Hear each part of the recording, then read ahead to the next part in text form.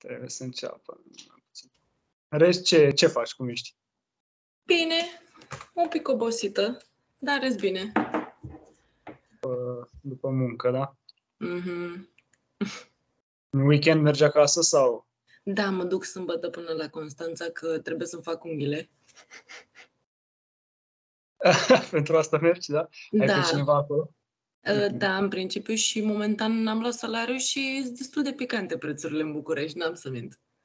Ok, da, și mai bine. Îți susții acolo oamenii tăi cu care ești prieten Da. mai de mult. Să susțin constanțenii. Bun, mersi mult că, că stăm de vorbă din nou. Doamne, dar ce urât mi se vede camera. Să știi că am început să înregistrăm și nu o să tai chestiile astea.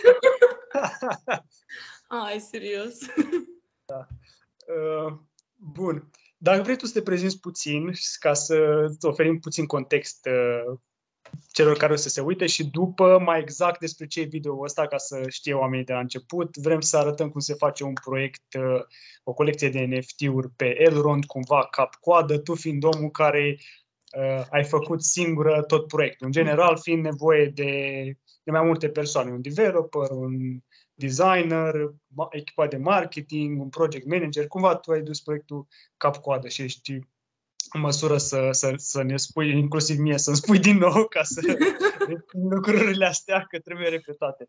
Cum faci un proiect pe o colecție de NFT-uri pe Elrond, cap-coadă. Dar spune întâi tu câteva chestii despre tine. Păi, uh, eu sunt Vanessa, îmi pare bine. Vanessa. Așa, am 22 de ani și sunt din Constanța și am găsit, am aflat recent de NFT-uri, uh, cred că în noiembrie, prin noiembrie, și atunci mi-a venit ideea de ce să nu încerc să fac și eu o colecție de NFT-uri. Și așa a apărut colecția mea, Ebrotaci. Tu desenai uh, dinainte? Făceai chestia asta? Nu? Ah, Nu. Bun. Am și spus. cum, dar cumva, adică sunt faine, ai, ai mintea asta de artist, mi se pare, că ai Da. reușit să, să faci toate lerele, să gândești un concept, un design și cumva, uh, spunem de ce te-ai dus pe zona de, de pixel. Uh, aveam, am un, o cunoștință care mi-a tot, îmi tot trimitea proiecte de NFT-uri, toate erau în pixeli. Și mi-am descărcat, am căutat într-o zi pe App Store o aplicație, am descărcat-o și eu pe prima și zic, hai să văd ce știu să desenez. Și prima chestie pe care am desenat-o a fost uh, Muriel din uh, Curaj Chini Fricos. În ce, în ce platformă sau în ce aplicație desenai? Ce program? Nu Sau în știu ce, să în ce, în ce program ai desenat? Uh, Uh, brotacii am făcut într-o aplicație numită Poti Poti, Poti, poti, ok. care tot așa se găsește. Cred că este și pe, nu știu cum se numește marketul de aplicații de la Samsung. Mhm. Deci ceva Da. free, adică... Da, e ceva free. Sau am plătit-o? Nu, n-am plătit-o, nu. Prima, prima aplicație pe care am încercat-o este 8-bit Painter. Nu știu dacă se vede. Uh, stai, camera aici. Asta, da, nu se vede nimic. Asta, uh, asta din mijloc ar fi fost, dar nu se vede nimic. Da, mă rog. Poate o să, poate să scriu în descrierea videoului câteva Da. detalii.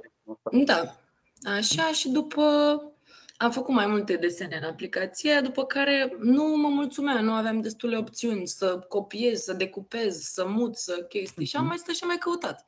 Și așa am dat de poti-poti. Poti. Dar știi că proiectul, unul dintre cele mai mari proiecte pe NFT-uri e CryptoPunks-ul, adică sunt în Da, da, stilul, da. stilul Este tău. Pixel, da. Sunt foarte Oare, urâte. oare ei te-au copiat pe tine, știi? Nu știu, dar m, efectiv sunt foarte urțele. Am făcut și eu o chestie de genul, gen CryptoPunks, dacă vrei să-ți arăt. Nu-s lansate. Ce- Poți să vrei arăt să așa lan- un uh, concept. Vrei să lansezi ceva nou? Uh, o altă am mai chestie? desenat, am mai desenat câteva chestii, mai am multe idei, doar că momentan nu prea mai am timp Mhm. să mă ocup de toată colecția în sine. O să-mi găsesc timpul la un moment dat și aș vrea să dai seama să mai lansez și alte colecții, că acum am vin idei mult mai multe și parcă mult mai bune. Și Da, progre- imaginez că progresezi. Și Da. prima înveți și tu dacă cumva. se și- vede. A, dar nu se vede nimic. Da, uh, cât de cât da, da. Ok, arată bine. Înțeleg ce, Da. ce faci acolo. Mhm. Bun, Bine, chiar sunt curios să, să, să văd aplicația asta din, din E store, super interesantă, gen chiar ai multe chestii foarte utile în ea.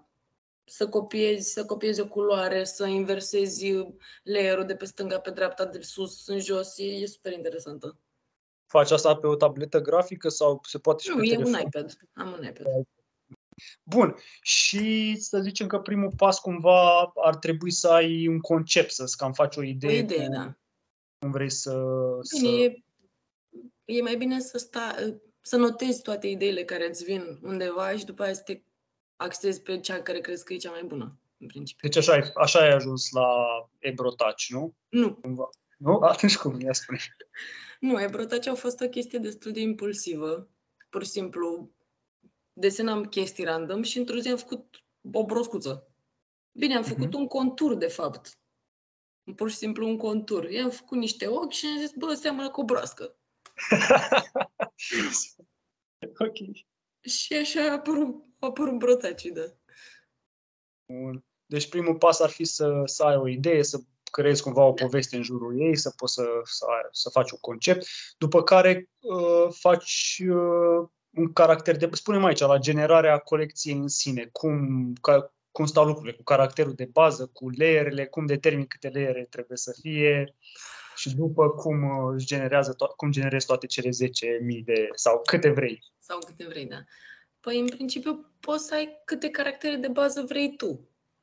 Okay. Adică poți să faci layere cu nemiluita, o droaie de layere. Dar nu e neapărat util, pentru mhm. că trebuie să decizi de exemplu, dacă te hotărăști să faci o colecție de 10.000, trebuie să ai așa în vedere gen cam câte background-uri, câte body-uri, câte din fiecare. Pentru că uh, la un, ca să afli numărul total de NFT-uri pe care tu poți să-l generezi cu toate elementele pe care le ai, le înmulțești între ele numerele. 7 uh-huh. cu 7 cu 7 cu 7 și așa afli cam câte poți să faci în total. Ok. Uh, layerul de bază e cumva skin-ul, nu? Tu cum ai gândit? Uh, skin-ul după care layerul de bază, adică caracterul de bază, să zicem că e skin-ul, nu? Adică caracterul în sine, Corp, peste care vin multe, multe, multe layere. Da. Uh-huh. Și cum ai, cum ai putea să categorizezi layerele astea? Adică, nu știu, layere de background, layere de culoarea corpului sau, nu știu, diverse acum, adiții. Acum depinde și cât de tare vrei să te complici.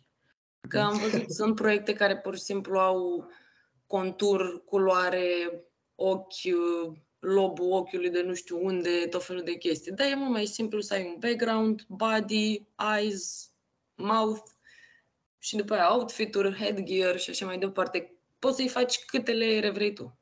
Deci cumva tu poți să faci chiar mai multe decât, uh, nu știu cum am zis noi, mulțirea layer între ele să-ți dea 10.000, ah, da. să faci mai multe, generezi mai multe și după poți să scoți din ele cumva, poate. Da, nu? da, Sau... da.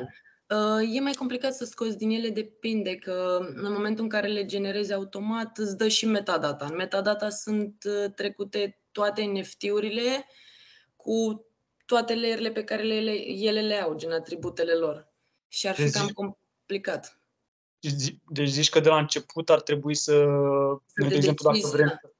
Da, mm-hmm. ori, ren- ori le lași, ori renunți, adică, na. Noi ne gândisem la proiectul nostru pe care vrem să facem cu No Word, să avem șase caractere de bază și ziceam că o să facem 2000, 2000, 2000, să generăm separat, da. pe care să scoatem 2000 uh, împărțit la 6 ca să rămânem cu 10.000, știi? În total, aha. Da, și păi, zici că... Da, că... nu e mai complicat. Că ai, tu ai nevoie de metadata aia în principiu să încarci colecția oriunde. Ok. Și e mai complicat după să stai în toate liniile alea de cod și să stai să scoți de acolo, că nici nu o să știi exact care sunt. Că sunt okay. pur și simplu numere peste tot. Am înțeles. Uh, bun, ai layerele astea, ai caracterul de bază, să zicem, uh, skin-ul ăla și da. cum, gen, cum generezi uh, cele 10.000 de caractere? E un cod? De unde îl iei? Cum, uh, cum în principiu, tu? eu m-am uitat la o tonă de tutoriale pe YouTube mm. până am găsit unul potrivit care să funcționeze. Uh, e cel de la Hashlips, care e pe GitHub, e free, îl iei free de acolo. Și de generat, cel mai ușor ar fi să le generezi prin, uh, uh vid- stai că am uitat cum se numește exact, uh, Visual Studio Code. Ok.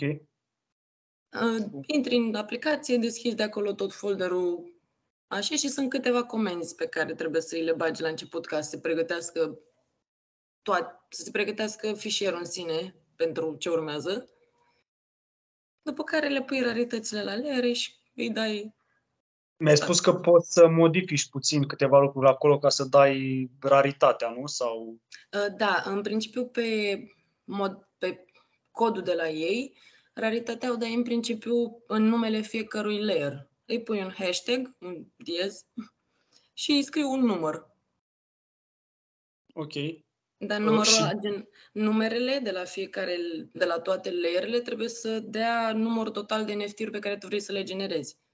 Adică okay. dacă ai 5 layere, de exemplu, și ai vrei să generezi 2000, faci calculul în așa fel încât să-ți iasă 2000. Nu știu matematică. Ați a ieșit. Da, mi-a ieșit. Oh, nu vrei să știi cât m-am chinuit și acolo. Da. Tu, tu cum ai gândit? Uh, 10.000, nu? Ai, da. Uh-huh. Și cum ai gândit? Uh, câte layere ai avut pe fiecare categorie? Sau cum ai gândit? Uh, dacă mai... Nu pot să zic că am gândit-o mult. Eu m-am apucat pur și simplu, am desenat extraordinar de mult. Am, rămas, am scos după o grămadă de leere, am rămas cu leere, pot să mai generez încă șapte colecții de brotaci sau eventual alte animăluțe care să pe, peste care să pun aceleași leere. Uh, na, nu, chiar n-am gândit-o foarte mult. A fost foarte impulsivă toată treaba. Bun, deci acum când povestești tu și am mai zis chestia asta, nu pare foarte complicat, trebuie ceva da. research, dar nu mai pare atât de complicat și atât de... Da, de e mai ușor când îți explică cineva decât să stai să cauți. M-am chinuit, mhm. chiar m-am chinuit mult. Sau să zică unde să cauți, știi? Da, sau exemplu. să zică unde să cauți și ce trebuie da. să faci din tipsuri, tips and tricks. Bun, și s-au generat uh, cele 10.000 de poze, să le zicem. Ce da forma, nu știu, JPEG? Uh, JPEG, da. JPEG. Ah, nu, sunt uh, PNG-uri. Sunt PNG-uri, ok. PNG-uri, da. După care tu trebuie să-ți faci un cont în uh, Trust Market. Pe Trust Market le-ai pus la, la Meetup. Da, dar nu-ți faci cont pe Trust Market. Ai portofelul tău de Maiar și cu portofelul de Maiar te conectezi pe Trust. Ah, ok, corect. Da, așa funcționează. Și simplu, atât de simplu încarci, încarci direct uh, E un pic complicat și acolo, dar avantajul e că în momentul în care vrei să apeși pe Create, a create Collection sau cum scrie acolo, că nu mai țin minte, a trecut ceva timp, uh, îți dau ei un tutorial. Uh-huh, Au ei propriul lor tutorial acolo la care poți să stai să te uiți și să urmezi pașii, să completezi ce ai de completat în timp ce te uiți la el. Ok. Bun. Deci cumva am atins. A, și mai vreau să te întreb uh, să mai ating și punctul ăsta, că m-au întrebat anumite persoane și să apară și în video, deși nu am mai discutat, când vrei să mai dai anumite uh, reward-uri persoanelor care îți cumpără, de exemplu, tu ai dat un al doilea NFT da. gratuit. Uh, cum faci chestia asta? Ai, uh, în momentul în care ai o colecție postată pe Trust Market, îți apare un buton, o să-i zic în plus, de creator. Apeși acolo și îți apare colecția ta cum era la început Uh-huh. Și ai acolo mai tot așa mai multe opțiuni, dai pe config și de acolo ai giveaway sau ce efectiv giveaway se numește. Pui adresa și dai send. Ok, deci din nou simplu. Și da, ar mai fi o întrebare. Uh-huh. Pe partea de royalties, royalități, nu știu, asta cum se setează? Asta mai exact ca să, să știe cei care poate se uită la video ăsta. Din, din câte știu, e maxim 10% pe orice market. Și chestia asta înseamnă că de fiecare dată când NFT-ul tău va fi revândut, 10% revândut, da. 10% vine către tine, da. Către creator. Mm-hmm. Bun. Deci cumva asta e partea tehnică a cre- creării. Da. Bine, e mai mult pe partea tehnică acum, că nu doar generatul e important, contează și utilitatea proiectului pe care mm-hmm. Da, cumva aici intrăm în, într-o discuție de, nu știu, tipuri de colecții de NFT-uri da. și Dar pur și simplu pe partea de generare poate să ce am prezentat, adică cumva ar cuprinde tot. Că, da. într-adevăr, când faci o colecție, trebuie privit ca un startup în sine, mai ales Da. dacă vrei să oferi o anumită utilitate și să dai anumite chestii înapoi, că până la urmă trebuie să te ții de cuvânt, că îți pierzi toată credibilitatea da. dacă nu, nu-ți atingi obiectivele, mm-hmm. nu oferi ce ai promis. Dar cam asta ar fi. Eu o să închid, o să închid acum uh, filmarea, filmarea, filmarea. Îți mulțumesc mult. Și pentru ce?